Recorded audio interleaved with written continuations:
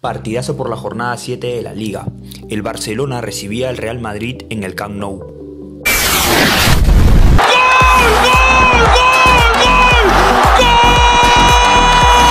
El conjunto merengue llegaba tras dos caídas consecutivas y lo que es peor en su casa.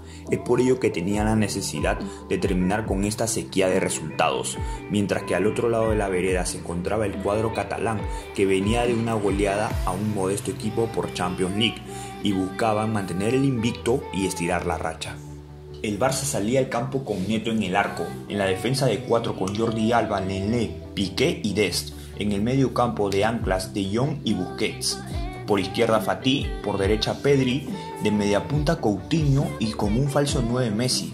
Por otro lado, el Madrid saltaba al campo con Courtois en el arco, Nacho por el lesionado Carvajal, Barán, Ramos y Mendy. En el medio campo ponía una línea de tres con Casemiro como ancla, Kroos por izquierda y Valverde por derecha. Y arriba como extremos, Vinicius por izquierda, Asensio por derecha y Benzema de 9.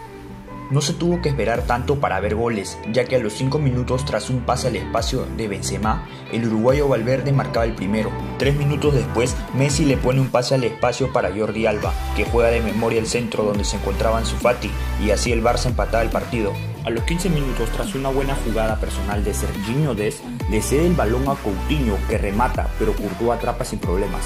A los 23 minutos, después de un cabezazo de Ramos, ocasionado por un tiro de esquina, Neto lanza un pelotazo con la mano y se arma la contra. Fatih le mete un pase genial a Messi, que engancha y deja atrás a su marcador. Dispara de derecha pero tapa Courtois.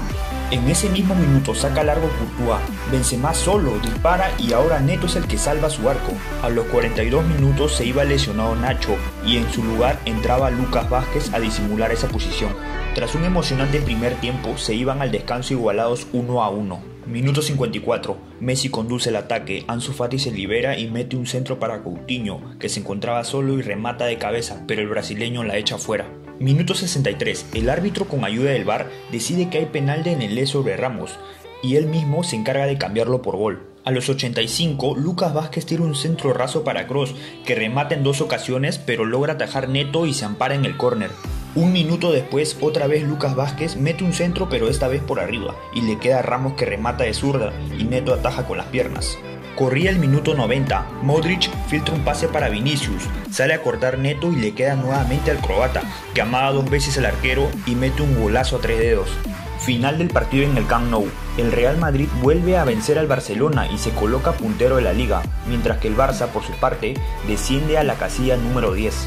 Si te gustó este video deja tu like y suscríbete y activa la campanita para que estés enterado de todo el mundo del fútbol.